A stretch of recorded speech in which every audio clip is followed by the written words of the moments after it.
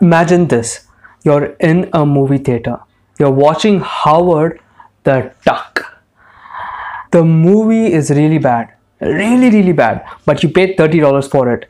Now you look to your girlfriend and say, Yo, let's get out of here. This movie is super bad. I don't want to like watch it. She's she looks at you and says, Are you crazy?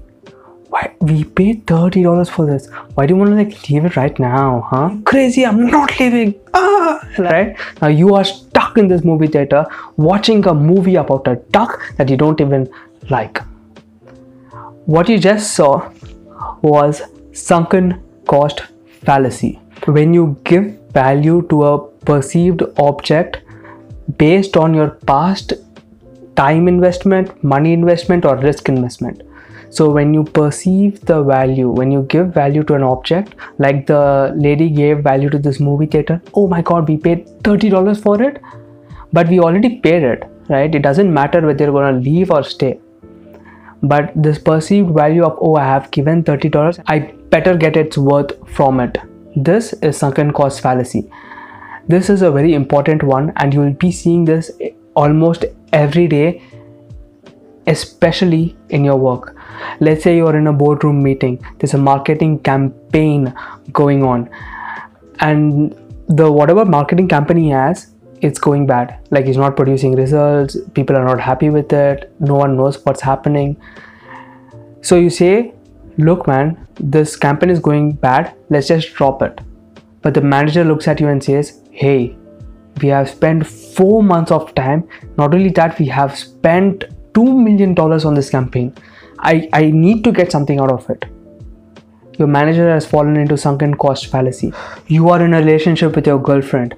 Now she's been cheating on you behind your back. She's like talking to someone else. She's like going to nightclubs without you knowing. Her. She's like bad place to be in, right?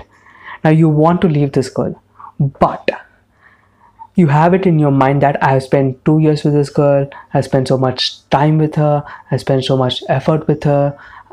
I, I don't want to let go of this relationship. Now you have fallen into sunken cost fallacy. Uh, sunken cost fallacy is the most dangerous when you have invested time, money, energy, or something that you love in. This is when sunken cost fallacy plays out now the right way to decide uh, on a specific circumstances is is not on how much effort you have put in the past how much cost you have spent in the past how much uh, energy that you have spent in the past but what are you going to get in future? Investors shark tank investors they they fall into this all the time.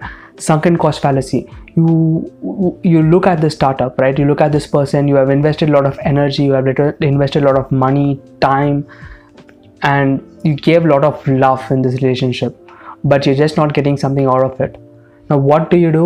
You would think to yourself i have invested so much time. I better get something out of it. But you're not going to get you're better off just moving on to someone else. Rational decision making requires you to forget about the cost incurred to date. No matter how much you already have invested, only your assessment of the future cost and benefit counts. This book, The Art of Thinking Clearly, is where I've given uh, all these biases from. A bias is something that clouds your judgment. A very good book. My goal is to like, there are 99 biases in this. I want to like uh, make a video on all of them at least covering most of them and if you have watched thus far please like subscribe hit that bell icon subscribe comment in the uh, comment box i would love to know what you guys think i will see you in the next video